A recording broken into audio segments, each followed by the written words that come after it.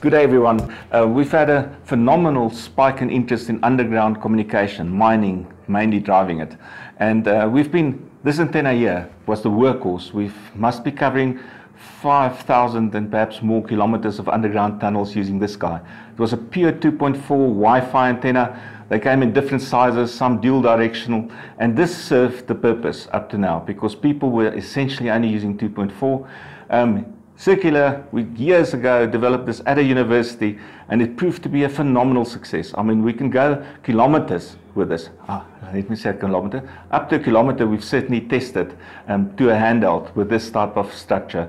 Um, circular is fantastic. There's a whole white paper on our website explaining why circular is so much better. And of course, the antenna being an end fire unit doesn't occupy much of the tunnel cross section. Both of that magic advantages. But the propagation you get from this, truly astounding due to the circular polarization.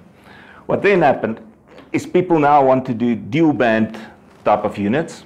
Um, and I just want to show some of the exciting new stuff. Some of it's really, it will never come in a see-through thing. We just did this for a show. Here you can see the first attempts, not attempts, this actually works, at doing a 2.4 and a 5.8. Pretty simple stuff, works, okay? But, you know, neither of these antennas have got that much of a bandwidth. So um, once again, our, uh, I think famous at this stage, chief designer, Dr. Derek Nitsch, came out with a concept which we've now patented, which at first doesn't look that novel, um, but it's got one exceptionally novel feature to it. Um, it is a tapered Healy. Now, tapered Healys have been around for yonks. You may say, I've seen this before. You haven't. Um, the unique feature of a tapered HELI like this is the fact that instead of just tapering the diameter, and I don't know why people haven't done that before, Derek decided he knows about log P antennas and he tapered the spacing between them. So it's a back-end fire. You see many of these type of antennas which are bifilar, two, two wires making the HELI, fed in the front. This guy's a simple back end. And the moment he changed that spacing, I mean, we've tried many times to increase bandwidth by just decreasing the diameter.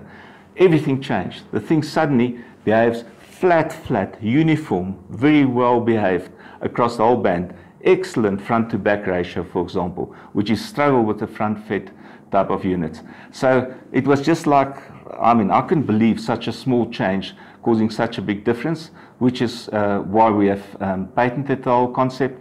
These things can go over wide, wide ranges because people now want to not only go 2.4, 5 gigs, they want to do the LTE bands, um, the LoRa bands, and so forth. This is why we started with, with this type of development. Ah, just because they're beautiful to me. Um, they look pretty similar. We've also followed a completely new former technology. The formers that was used in these guys here solid dielectric form, uh, formers.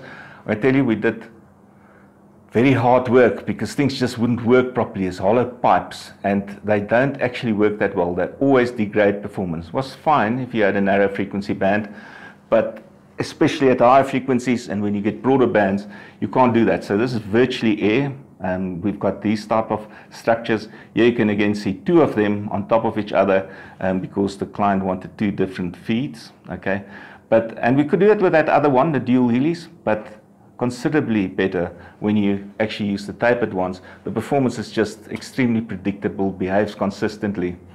Um, and then, of course, ultimately, many um, applications.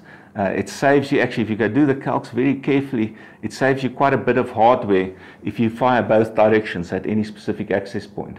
Okay, saves you one, approximately you can get about 40% more range from a single radio um, compared to trying to do it one by one in different sections. So we've got a lot of dual feed. We've even got ones of these two sitting next to each other because some of the radios, especially the mesh radios used by Rajant, requires quite a few radios and um, then they get massive advantage. They've got frequency diversity and they've got space diversity. And those radios, uh, I don't know what's the magical in them, but they can use whatever works best. Um, here's again just an example of a pure tapered one. It's more clear on this one that the spacing actually reduces, which we couldn't show people before, but uh, at the moment we feel safe enough about it.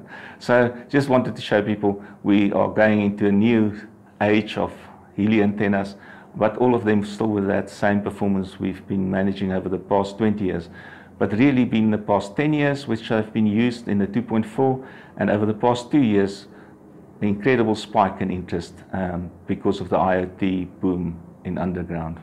Thank you.